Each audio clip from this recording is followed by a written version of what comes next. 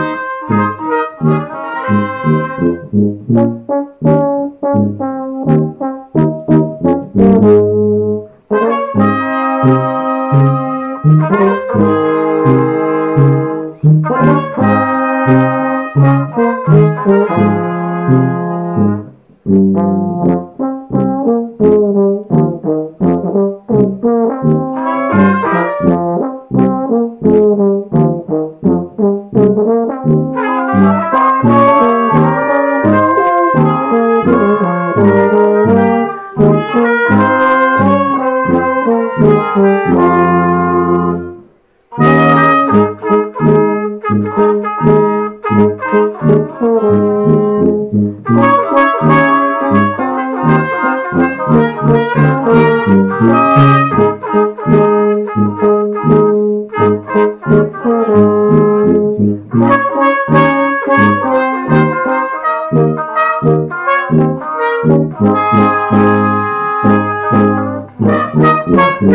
you.